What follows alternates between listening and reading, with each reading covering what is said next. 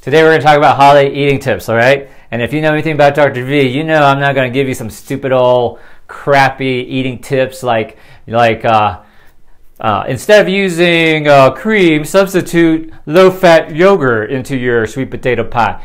My answer to that is shit, man. Don't fuck with my sweet potato pie. I've been waiting all year long for sweet potato pie. I don't want yogurt in my sweet potato pie. I want the cream. Y'all agree, right? So those little tips, while they sound cute, and you're probably watching it on TV and stuff, and these cooking channels are showing you how to substitute, make healthy substitutions, I say forget that crap, right? Um, I'm going to give you some better tips than that. Okay, ready? Let's do this. Okay, so holiday eating tips. The first thing I want you to do, um, everyone always focuses on food. What should I avoid, right? So foods to avoid is the number one, everyone always gives you that tip. You need to avoid pecan pie because it's made with syrup and, and uh, a cheesecake's got a thousand calories per slice. Well, you know, if you've been waiting all year to eat your sweet potato pie, like have some sweet potato pie. It's no big deal. So I'm going to tell you, don't worry about the food because everybody's going to tell you about the food, and that shit just drives you crazy, right? Everybody's watching you. You've had weight loss surgery. People are like, let's see what Aunt Mary's eating.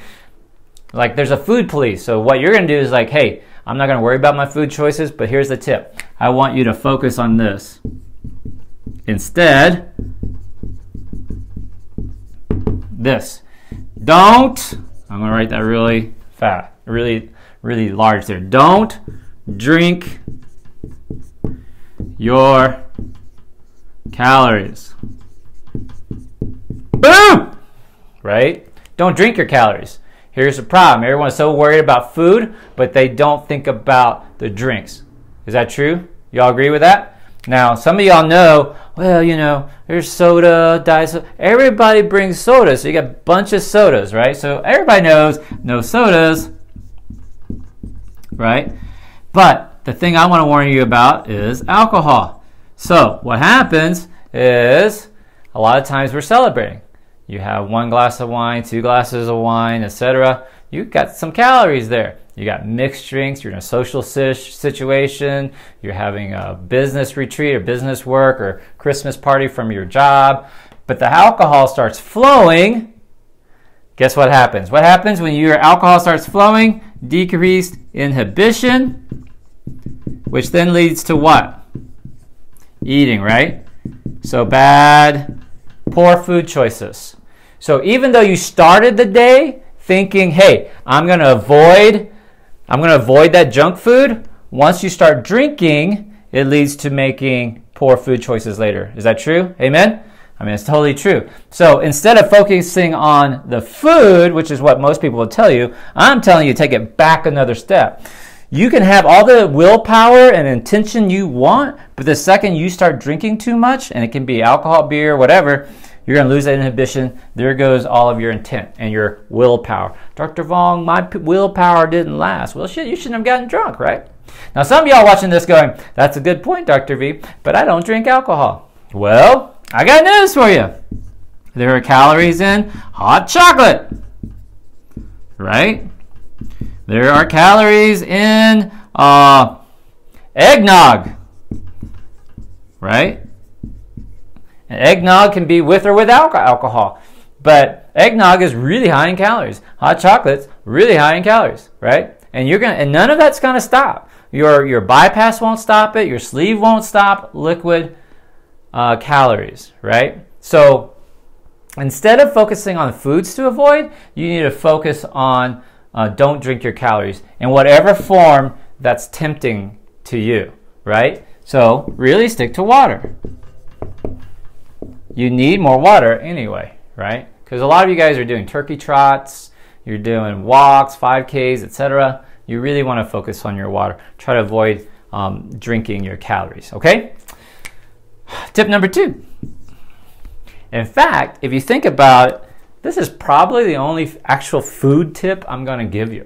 because it's the only one that makes sense, right? Everything else you already kind of know about. You already know to put veggies on your plate. You know to focus on your protein first. You know that salads are going to be healthier than cornbread stuffing, giblet gravy, you know, pecan pie. So that stuff you already know.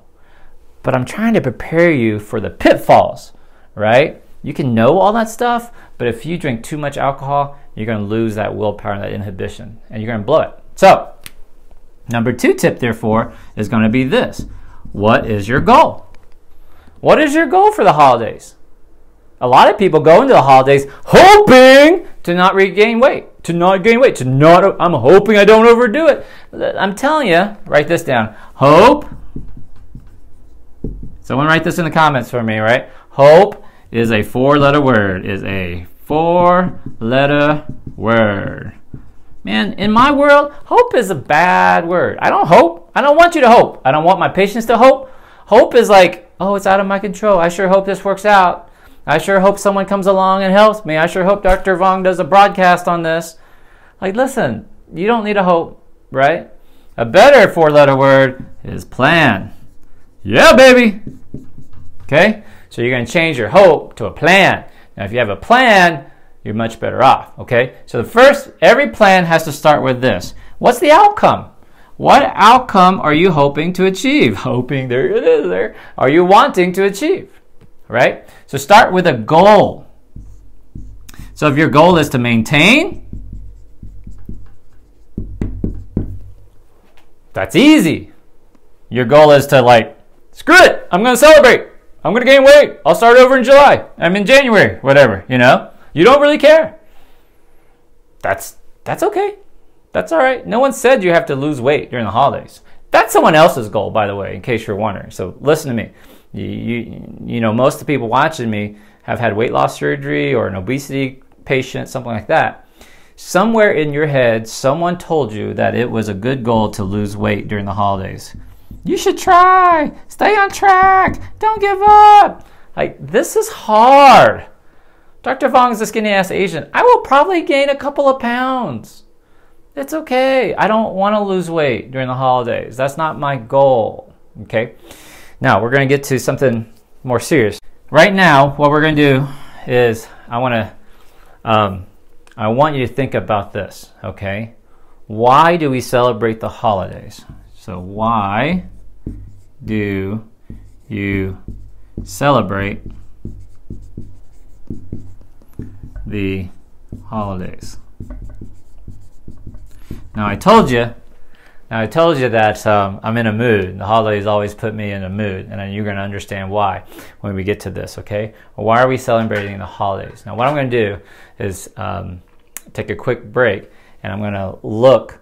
I'm going to read on the laptop some of your answers. I want you to tell me why you're celebrating the holidays, okay? Now, if you're watching this, we're about to get to the meat of the talk because all this stuff is fluff shit, right? You get this, right? I mean, you don't tune in to Dr. V to watch me tell you how to substitute yogurt for sour cream or for cream, right? Like, we're going to get to some deep stuff right now. So, tell me, why, why do you celebrate the holidays? Okay, Gina, everybody, a lot of people, Jolene, family, Gina Marcio, family, Heather Reeves, to be with family. Thank you for having Marie Arazo, family. I want more people here. Uh, Ann, Anna Walker says family, um, family tradition. Sabrina, welcome on in, girl. Kara Kelly, celebrate family. See, everyone says family, family, family, family, family. I'm seeing a bunch of family tradition, right? Family. Um, so I got news for you. All of y'all hate your fucking family. At some point, today or tomorrow, somebody's gonna go, Oh my god, I can't believe I have to go to Aunt Marge's. Like, I don't wanna go to another house. I don't want it anymore. And then some of y'all, your family's gonna get together, and I promise you there's gonna be an argument. Amen? Somebody's gonna get pissed off.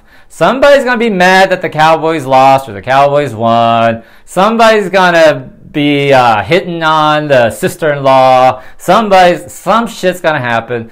and somebody's going to get stabbed. Somebody's going to end up in the emergency room, right? So, I got news for you. It's not for family, right? Hey, Miguel, welcome on in. All right. So, Angie says for the food because it makes stores money. Shannon, thank you for sharing. Food, food, food. So, you guys see, holiday stresses me out. Now, Marcy is telling me some truth there. All right. So, let's get back with the talk, okay? Let me give you some real shit, okay? Let's say you're 40 years old, middle age, 40, 50 years old, okay? This is something very important for you to understand. And you say, Dr. Vuong, I have, you know, 40 more years to celebrate.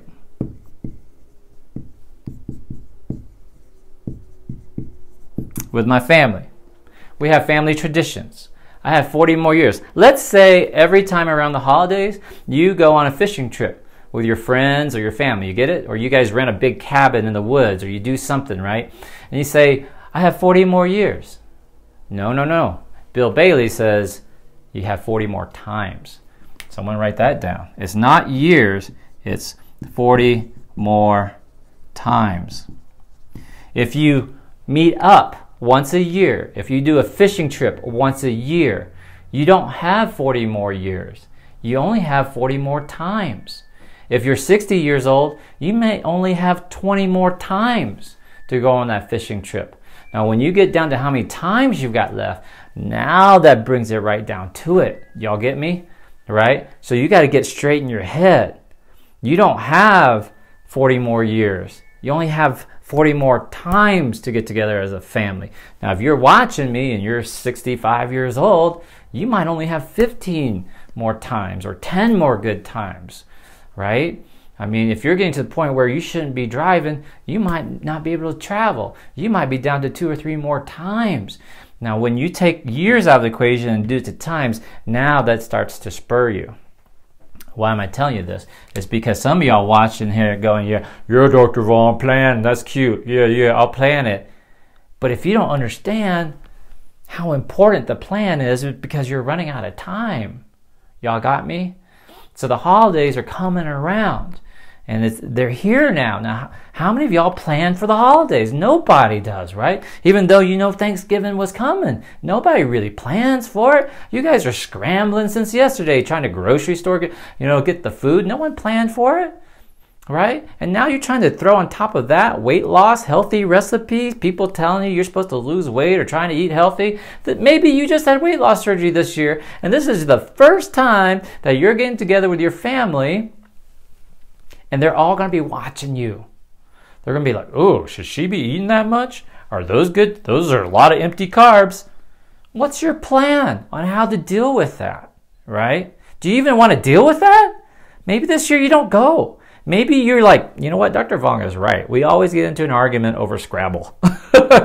Maybe we don't want to go this year. Maybe we want to be calm and quiet at home. What's important to me? Because I got it down to the number of times left I want to spend. Now, why am I telling you this?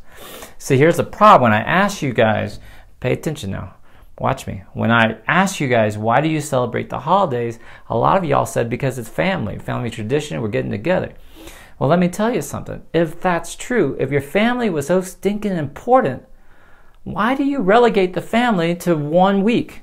One holiday or maybe two holidays out of the year. If family is so important, why isn't the entire year about your family? Because here's my answer because it's not about family, right? It's not about family. Because if it was about the family, you guys would be together all the time. You need to understand that, okay? Now, what's it about then? If it's not about the family, if it's not about the food, if it's not about making memories, it's not about, then what is it, Dr. Vuong? Okay. Told you I was in a mood. Here it comes. The reason why we celebrate the holidays and we get together and we make a big production and it's always mom's house or grandmother's mother's house and there's always so much food right? You always have leftovers. You always pushing food people take home. The reason why we make such a big production and scene out of the holidays is this.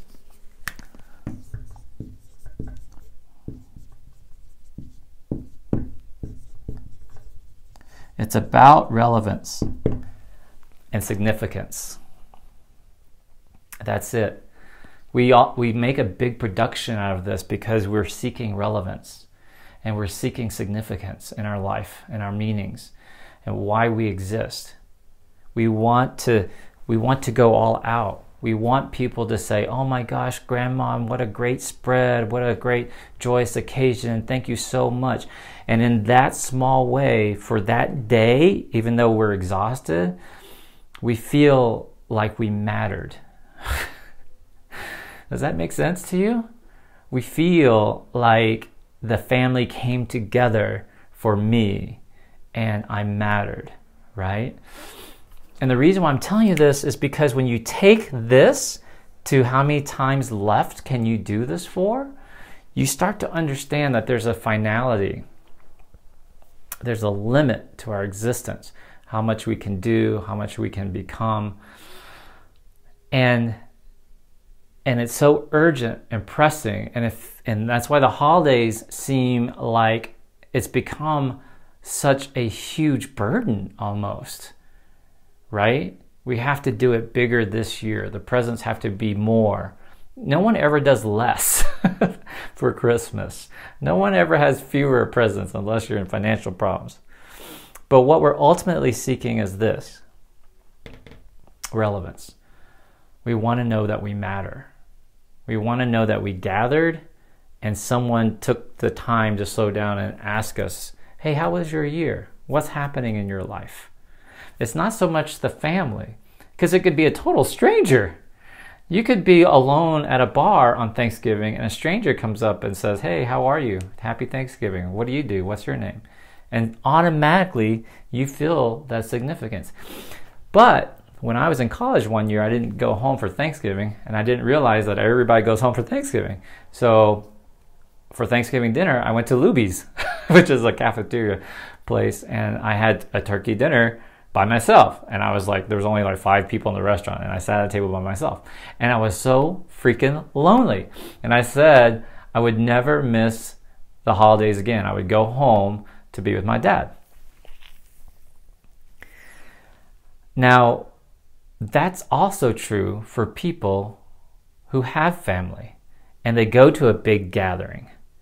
There's always someone in that gathering that's sitting in the corner, that's sitting in a chair by themselves, that's reclusive, that doesn't want to talk to people. And even though they're surrounded by a bunch of family who love them, they still feel alone.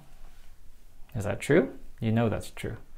Today, when you guys start going out to see your families, look around the room. There is one person who is re, you know withdrawn. They're sitting in the corner, they're eating by themselves. They are alone in a crowded room. If you want to make their day, go up to them, talk to them, pay attention to them, make it about them. Hey, how how are you? I'm here I'm here for you. I'm listening to you. I'm not worried about the football game. I'm not worried about getting the dinner ready. I'm not worried about helping out. I'm here for you. You want to make them feel relevant and significant. And if we can take, I'm telling y'all, if, if all of y'all watching me right now, if we turn the focus of the holidays from gifts and food and junk and family, quite honestly, and we started making it about relevance, and significance and understanding that that's what everybody really wants, then our world will change. I promise you, our world will change. And food will not be such a big deal. Eating will not be such a big deal. Because ultimately, that's all we want in our lives. Everybody watching me, everybody within the sound of my voice, the number one thing you want in your life is to feel significant, to feel like you matter, to feel relevant, to feel like people notice you or that you make a difference. So I hope you don't lose that message during the holidays. I'm in a mood. I'm sorry. I'm crying. All right. Dr. V loves you very much. And it's very true for me. I want to be significant. you're watching me, you're sharing this broadcast, makes me feel like what I do is worthwhile. And beyond just being a surgeon, but reaching a bigger platform, it just, it's my reason for being, you know? And if you can get to the core of that, your obesity is not an issue. You're overweight, you struggle with your weight. The reason why you struggle with your weight, it's because you feel insignificant on some level. And I'm here to help you change that, okay? Hope you enjoyed the broadcast. Thank you guys so much. Happy holidays, everybody. And uh, I hope you keep following, keep watching. Thank you guys very much. Cool. Let's take some questions. Woo! Man, All right.